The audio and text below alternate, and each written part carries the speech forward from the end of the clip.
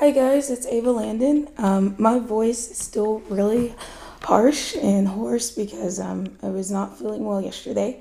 So I'm sorry for the delay. Um, today we're going to get started on doing our backing. Um, but before we do, I just wanted to go ahead and show you what the final quilt will look like sewn. So this is mine. Um, it's fairly small, but that's okay. Uh, this is going to be a lap quilt.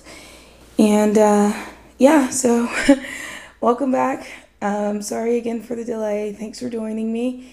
And uh, I'm going to get started on the uh, backing tutorial and I will post that up in just a second. All right, see you in a few.